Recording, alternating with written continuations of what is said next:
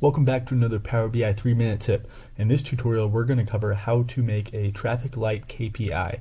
Uh, this is something that SSRS users have been asking for for a long time, and I'm going to show you a really a workaround and how to do it. There isn't an official uh, visualization that can do this, but I will show you how to make your own using donut charts.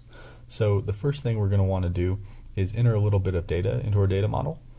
Uh, let's just name this name, and we'll put dollars uh, the first name we'll go ahead and put uh, Robert here.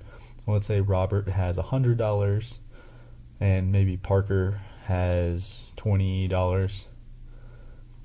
Uh, Jim is going to have $40 and Ann will have uh, 80 Dave will give him 75 and finally Jeremiah will give him 150 Let's name our table. We'll just call it data. Be very creative.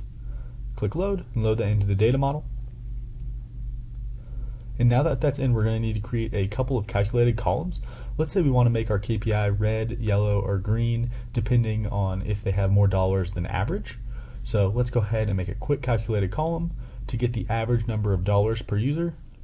Um, that'll just be av equals average data dollars. Pretty simple click enter, let's look at this. See the average of all the dollars is 77.5.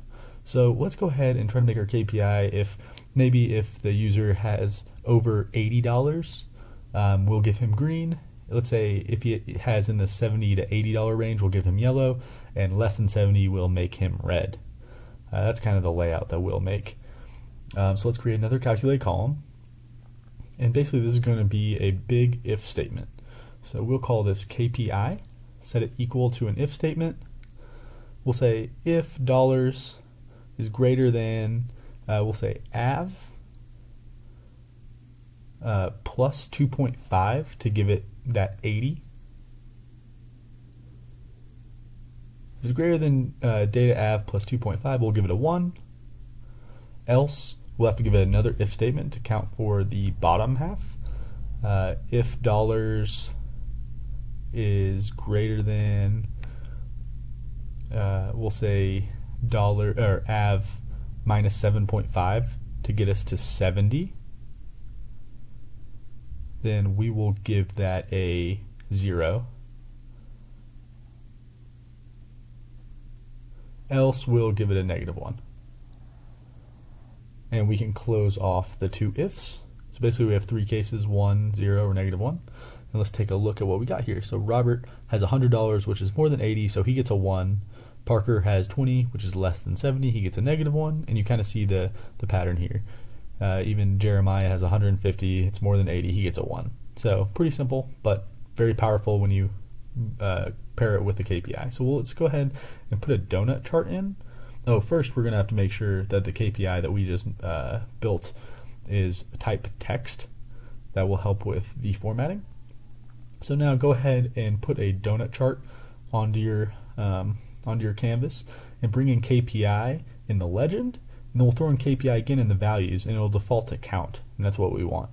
So it doesn't really make too much sense right now, but let's go ahead and color the data labels like we want. So data colors, uh, one is going to be green, zero is going to be yellow, and negative one is red. So that's good.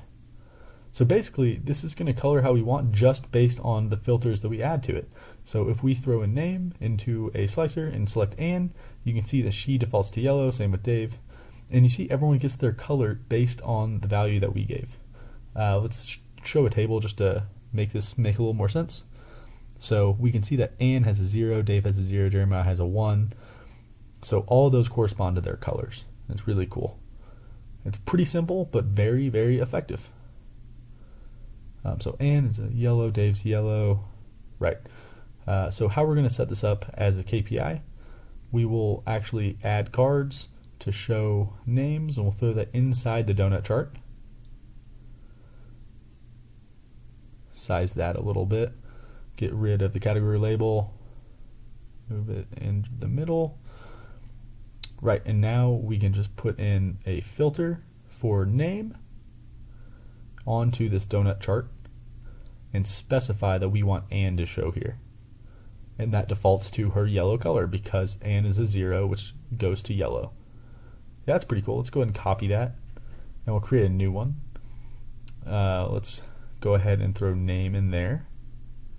Well, actually, let's go ahead and get the card. Uh, we'll change this user, so not and, but let's get a different name here. Um, throw name into the filter. Uh, we'll take Jeremiah, make it a little bit bigger because his name's much bigger, and go to the donut chart and change the name to uh, to Jeremiah so we can show his color. And we see that he's green. And that's kind of starting to look how we want. So we see yellow and we see green. Let's go ahead and take the data labels off to kind of get rid of the clutter and the title as well. There goes the data label and the title. Move it around a little bit. And there we go. We have a yellow and we have a green user. Um, we can make one more just to kind of nail the point in. Uh, we'll make this one a red user just to show that kind of traffic light look. Let's resize this to make it a little smaller, running out of room. Uh, let's change this name to uh, Parker because we know he's red. Uh, but now we have Parker and Jeremiah selected. We just want Parker, so we'll just select Parker, and that's red. We'll throw in his name in the card. Make sure that's Parker. And there we go. We have what looks like a traffic light. It's pretty simple. It's a lot of steps, but uh, very useful and kind of gets the job done if you format this correctly. If you make this look better, uh, I'm sure you'd love to use this. Uh, just so you know, you can conditionally format cells in a table, but in case you don't have tabular data, like this is not tabular, uh, then you may want to do something like this. So really, if you like this video, go and subscribe to the channel, and I will see you in the next Power BI 3 Minute Tip.